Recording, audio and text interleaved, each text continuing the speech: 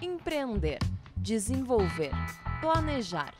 Palavras que estarão em discussão na palestra.